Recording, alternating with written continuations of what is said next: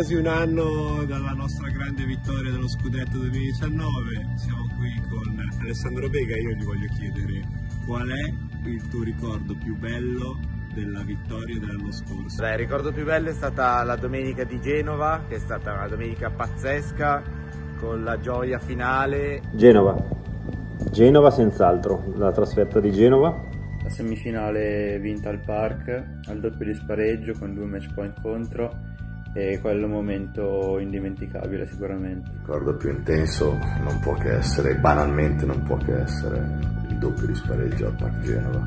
Il doppio finale di Genova, quello di spareggio che sicuramente è stato il più emozionante e poche volte in vita mia, anzi mai, ho provato un'emozione così forte e tutta quella gioia, la gente. Il più bello è stato il doppio proprio su questo campo giocato insieme a Bobby che contro Genova all'andata vittoria al termine del terzo, eh, terzo set proprio insperata per me è stata un'emozione unica il mio ricordo più bello è il doppio, quello contropronostico, direi leggermente contropronostico Magher Arnaboldi, e io e il grande Daddone, non ci credeva nessuno, Et mon meilleur souvenir, je pense que c'est soit demi-finale contre, contre Gênes qui se joue à, à, deux points et qu'on finit au bout de la nuit. Ou... A Genova quando in un clima irreale, che un casino assurdo facevano, eravamo sotto 9-7 nel doppio di spareggio ma siamo riusciti a ribaltarla tutti noi sappiamo com'è andata a finire.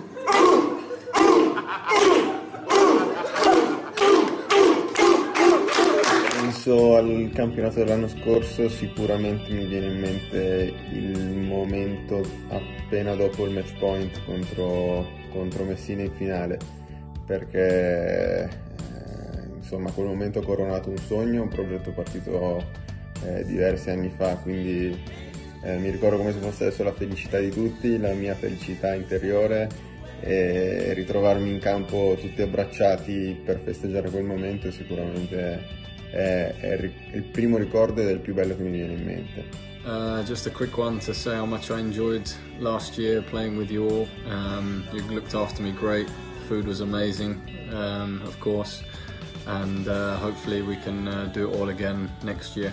Siamo una squadra di amici, quindi eh, far parte di una squadra dove c'è tutta questa sintonia non è facile, è difficile, quindi per me vuol dire tanto, vuol dire far parte di una, una tra virgolette famiglia, quindi bellissimo e ogni anno sono veramente molto contento di poter giocare a squadre e soprattutto di farlo con Selvalta.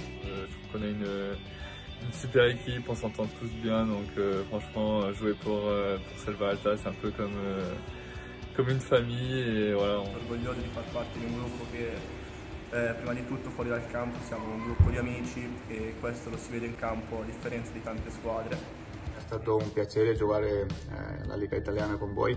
Far parte della squadra di Vigevano è un po' speciale, diciamo, ecco, speciale. Sempre Forza Selva, a presto.